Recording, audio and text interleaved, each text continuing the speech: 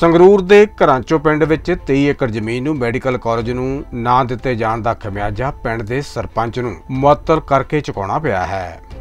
ਇਸ ਵਾਸਤੇ ਵਿਰੋਧੀ ਧਿਰ ਨੇ ਸੰਗਰੂਰ ਦੇ ਵਿਧਾਇਕ ਅਤੇ ਕੈਪਟਨ ਸਰਕਾਰ ਦੇ ਬਤੌਰ ਸਿੱਖਿਆ ਮੰਤਰੀ ਵਿਜੇਂਦਰ ਸਿੰਗਲਾ ਤੇ ਗੰਭੀਰ ਦੋਸ਼ ਲਗਾਏ ਹਨ। ਆਪ ਵਿਧਾਇਕ ਮੀਤ ਹੇਅਰ ਦਾ ਕਹਿਣਾ ਹੈ ਕਿ 23 ਏਕੜ ਜ਼ਮੀਨ ਨੂੰ ਵਿਜੇਂਦਰ ਸਿੰਗਲਾ ਗਲਤ ਤਰੀਕੇ ਨਾਲ ਜ਼ਮੀਨ ਦਾ ਇੰਤਕਾਲ ਵੀ ਕਰਾ ਰਿਹਾ ਸੀ। ਲੇਕਿਨ ਸਰਪੰਚ ਗਰਮੇਲ ਸਿੰਘ ਦੀ ਕੋਸ਼ਿਸ਼ ਸਦਕਾ ਇਹ ਜ਼ਮੀਨ ਬਚੀ ਸੀ, ਜਿਸ ਨੂੰ ਲੈ ਕੇ ਮੰਤਰੀ ਸਿੰਗਲਾ ਨੇ ਇਸ ਸਰਪੰਚ ਨੂੰ ਹੀ ਮੁਅੱਤਲ ਕਰਵਾ ਦਿੱਤਾ। ਮੀਤ ਹੇਅਰ ਦਾ ਕਹਿਣਾ ਹੈ ਕਿ ਇਸ ਕੇਸ ਨੂੰ ਲੈ ਕੇ ਉੱਚ ਅਧਿਕਾਰੀਆਂ ਦੇ ਨਾਲ ਜ਼ਰੂਰਤ ਪਈ ਤਾਂ ਉਹ ਮਾਨਯੋਗ ਹਾਈ ਕੋਰਟ ਦਾ ਦਰਵਾਜ਼ਾ ਵੀ ਖੜਕਾਉਣਗੇ। ਦੇਖੋ ਜੀ ਸਾਡੇ ਸਰਪੰਚ ਨੇ ਗੁਰਮੇਲ ਸਿੰਘ ਜੀ ਘਰਾਚੋਂ ਪਿੰਡ ਤੋਂ ਸੰਗਰੂਰ ਬਲਾਕ ਦਾ ਮੈਨੂੰ ਲੱਗਦਾ ਸਭ ਤੋਂ ਵੱਡਾ ਜਿਹੜਾ ਉਹ ਪਿੰਡ ਹੈਗਾ, ਉਹਨਾਂ ਨੂੰ ਸਸਪੈਂਡ ਕੀਤਾ ਗਿਆ ਹੈਗਾ। ਇਸ ਕਰਕੇ ਕਿਉਂਕਿ ਉਹਨਾਂ ਵਿਰੁੱਧ ਇੱਕ ਬਦਲਾਖੋਰੀ ਵਾਲੀ ਰਾਜਨੀਤੀ ਸਰਕਾਰ ਨੇ ਇੱਥੋਂ ਦੇ ਮੰਤਰੀ ਸਾਹਿਬ ਨੇ ਅਪਣਾਈ। ਕਿਉਂਕਿ ਇਹਨਾਂ ਨੇ ਕੁਝ ਸਮਾਂ ਪਹਿਲਾਂ ਜਿਹੜੀ ਪਿੰਡ ਦੀ ਜ਼ਮੀਨ ਪ੍ਰਾਈਵੇਟ ਅਦਾਰੇ ਨੂੰ ਦੇਣਾ ਚਾਹੁੰਦੇ ਸੀ, ਪ੍ਰਾਈਵੇਟ ਕਾਜ ਨੂੰ ਦੇਣਾ ਚਾਹੁੰਦੇ ਸੀ, ਉਹਦੇ ਵਿਰੋਧ 'ਚ ਇਹ ਪਿੰਡ ਦੇ ਪੰਜ ਮੈਂਬਰ ਤੇ ਸਰਪੰਚ ਸਾਹਿਬ ਖੜ ਗਏ, ਜਿਹਦੇ ਖਰ- ਕਰਕੇ ਇੱਕ ਬਦਲਾਖੋਰੀ ਦੀ ਰਾਜਨੀਤੀ ਅਪਣਾਉਂਦੇ ਹੋਏ। ਜਿਹੜੀ ਇੱਕ ਪਿੰਡ ਦੀ ਜ਼ਮੀਨ ਤਿੰਨ ਕਾਂਗਰਸੀ ਬੰਦਿਆਂ ਨੇ ਠੇਕੇ ਤੇ ਲਈ ਸੀ, ਜਿਨ੍ਹਾਂ ਵਿੱਚੋਂ ਇੱਕ ਸਾਬਕਾ ਸਰਪੰਚ ਵੀ ਹੈ, ਉਹਨਾਂ ਨੇ ਪੇਮੈਂਟ ਨਹੀਂ ਕੀਤੀ ਠੇਕੇ ਦੀ। ਕ- ਤੇ ਜਿਹੜਾ ਰੂਲ ਕਹਿੰਦਾਗਾ ਵੀ ਜੇ ਠੇਕੇ ਦੀ ਪੇਮੈਂਟ ਨਹੀਂ ਹੋਈ, ਤਾਂ ਉਹਦੀ ਅਦਾਇਗੀ ਕਰਨ ਲਈ ਉਹ ਡੀਡੀਪੀਓ ਨੇ ਕਰਵਾਉਣੀ ਹੈ, ਉਹ ਬੀਡੀਪੀਓ ਨੇ ਕਰਵਾਉਣੀ ਹੈ, ਪੰਚਾਇਤ ਸੈਕਟਰੀ ਨੇ ਕਰਵਾਉਣੀ ਹੈ, ਸਰਪੰਚ ਨਹੀਂ ਕਰਵਾਉਣੀ। ਹਾਲਾਂਕਿ ਸਰਪੰਚ ਸਾਹਿਬ ਦੇ ਸਾਰੇ ਪ੍ਰੂਫ ਨੇ, ਇਹ ਸਮੇਂ-ਸਮੇਂ ਤੇ ਜਿਹੜੇ ਲੈਟਰ ਨੇ ਉਹ ਲਿਖਦੇ ਰਹੇ, ਜਿਹੜੇ ਲੋਕਾਂ ਕੋਲੇ ਜ਼ਮੀਨ ਸੀ, ਉਹਨਾਂ ਨੂੰ ਵੀ ਲਿਖਦੇ ਰਹੇ। ਗੁਰਮੀਤ ਸਿੰਘ ਨੂੰ ਆਹ ਪਹਿਲਾਂ 29 ਤਰੀਕ ਨੂੰ ਲਿਖਿਆ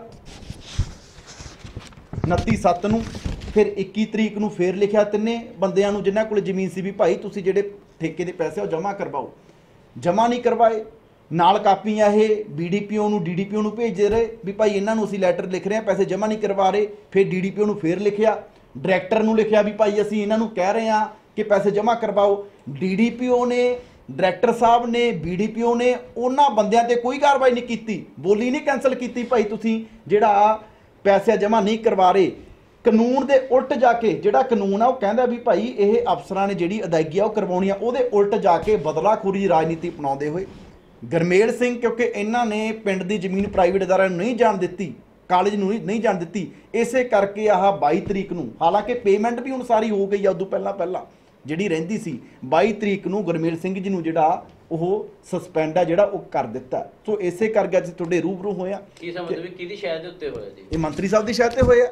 ਕਿਉਂਕਿ ਮੰਤਰੀ ਸਾਹਿਬ ਦੇ ਹੀ ਜਿਹੜੇ ਬਜਿੰਦਰ ਸਿੰਘਲਾ ਜੀ ਜਿਹੜੇ ਇੱਥੋਂ ਦੇ ਮੰਤਰੀ ਨੇ ਉਹਨਾਂ ਦੀ ਸ਼ਾਇਦ ਤੇ ਹੋਇਆ। ਹੋਰ ਕੀ ਸ਼ਾਇਦ ਤੇ ਹੋਇਆ? ਚਾਰ ਸਰਪੰਚ ਪਿੰਡ ਇੱਥੋਂ ਦੇ ਬਲਾਕ ਦੇ ਪਹਿਲਾਂ ਸਸਪੈਂਡ ਹੋ ਚੁੱਕੇ ਆ। ਪੂਰੇ ਪੰਜਾਬ 'ਚ ਜਿਹੜੇ ਵੀ ਆਪੋਜੀਸ਼ਨ ਦੇ ਸਰਪੰਚ ਨੇ ਉਹ ਸਾਰਿਆਂ ਦੇ ਨਾਲ ਸਰਕਾਰ ਆ ਜਿਹੜੀ ਧੱਕਾਸ਼ਾਹੀ ਕਰ ਰਹੀ ਹੈ। ਡਿਕਟੇਟਰਸ਼ਿਪ ਵਾਲਾ ਅ, ਰਵੱਈਆ ਉਹ ਅਪਣਾ ਰਹੀ ਹੈ ਜਾਂ ਤਾਂ ਕਹਿੰਦੇ ਸਾਨੂੰ ਜੁਆਇਨ ਕਰੋ ਨਹੀਂ ਤੁਹਾਡਾ ਕੰਮ ਚੱਲਣ ਦੇਣਾ। ਵਿੱਤ ਕਮਿਸ਼ਨ ਦੀਆਂ ਜਿਹੜੀਆਂ ਗ੍ਰਾਂਟਾਂ ਆ ਰਹੀਆਂ ਉਹ ਵੀ ਨਹੀਂ ਪਿੰਡ ਤੇ ਲੱਗਣ ਦੇ ਰਹੇ ਜਿਹੜੀਆਂ ਪੋਪੂਲੇਸ਼ਨ ਦੇ ਹਿਸਾਬ ਨਾਲ ਵੈਸੇ ਹੀ ਆਉਣੀਆਂ ਨੇ। ਤੇ ਇਹਨਾਂ ਨੇ ਤਾਂ ਖੜੀ ਇਹ ਕਾਰਪੋਰੇਟ ਘਰਾਣਿਆਂ ਦੇ ਵਿਰੁੱਧ ਸੀ ਇਹ ਸਾਰੇ ਕਾਰਪੋਰੇਟ ਘਰਾਣਿਆਂ ਦੇ ਯਾਰ ਨੇ।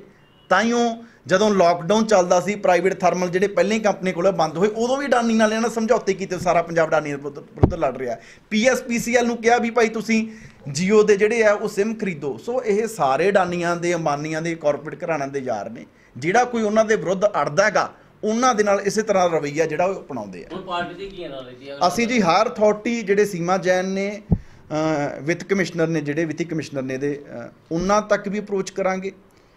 ਨਹੀਂ, ਅਸੀਂ ਹਾਈ ਕੋਰਟ ਵੀ ਜਾਵਾਂਗੇ, ਪਰ ਅਸੀਂ ਸਾਡੇ ਸਰਪੰਚ ਸਾਹਿਬ ਦੇ ਨਾਲ, ਜੇ ਹੋਰ ਵੀ ਕਿਤੇ ਇਦਾਂ ਕਰਦੇ, ਆਮ ਆਦਮੀ ਪਾਰਟੀ ਦੀ ਲੀਡਰਸ਼ਿਪ ਹੈ ਜਿਹੜੀ ਉਹ ਡਟ ਕੇ ਖੜੀ ਹੈ। ਕਰਾਚੂ ਪਿੰਡ ਦਾ ਇੱਕ ਇਸ਼ੂ ਸੀਗਾ, ਜਿਸ ਦੇ ਵਿੱਚ ਆਪਾਂ ਨੂੰ ਸਰਕਾਰੀ ਮੈਡੀਕਲ ਕਾਲਜ ਦੇ ਲਈ ਜ਼ਮੀਨ ਦੀ ਮੰਗ ਕੀਤੀ ਗਈ ਸੀ। ਐਕਚੁਅਲੀ ਪਰ ਉਹ ਪੀਪੀਪੀ ਮੋਡ ਦੇ ਵਿੱਚ ਅੰਡਰ ਸੀਗਾ, ਜਿਸ ਦੇ ਵਿੱਚ 70% ਪ੍ਰਾਈਵੇਟ ਹਿੱਸੇਦਾਰੀ ਸੀ। ਇਸ ਲਈ ਆਪਾਂ ਇਸ ਦੇ ਅਗੇਂਸਟ ਖੜੇ, ਤੇ ਜਦੋਂ ਗ੍ਰਾਮ ਪੰਚਾਇਤ ਨੇ ਜ਼ਮੀਨ ਦੇਣ ਤੋਂ ਇਨਕਾਰ ਕੀਤਾ ਤਾਂ ਚੋਰੀਓਂ 12 ਤਰੀਕ ਨੂੰ 12/10 ਨੂੰ ਇਹਨਾਂ ਨੇ ਇੰਤਕਾਲ ਆਪਣੇ ਨਾਂ ਨਾਂ ਕਰਵਾ ਲਿਆ। ਜਦੋਂ ਹੈਲਥ ਡਿਪਾਰਟਮੈਂਟ ਦੇ ਨਾਂ ਕਰਵਾ ਲਿਆ ਤਾਂ ਕਿ ਉੱਥੇ ਪ੍ਰਾਈਵੇਟ ਹਸਪੀਟਲ ਸਟੈਬਲਿਸ਼ ਕੀਤਾ ਜਾ ਸਕੇ।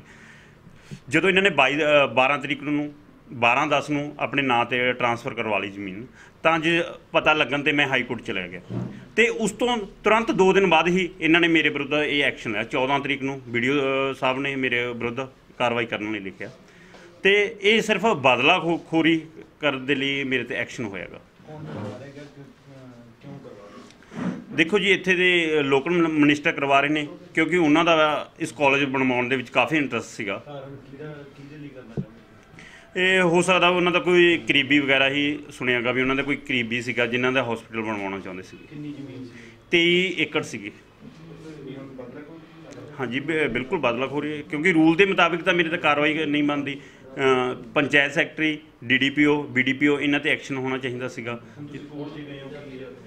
ਹੁਣ ਦੇਖੋ ਅਸੀਂ ਨੇ ਆਰਡਰ ਨੇਗੇ ਤੇ ਹੁਣ ਅਸੀਂ ਸੀਮਾ ਜੈਨ ਜੀ ਕੋਲ ਜਾਵਾਂਗੇ। ਜੇ ਉੱਥੋਂ ਵੀ ਸਾਨੂੰ ਇਨਸਾਫ ਨਾ ਮਿਲਿਆ ਤਾਂ ਅਸੀਂ ਹਾਈ ਕੋਰਟ ਦਾ ਰੁਖ ਕਰਾਂਗੇ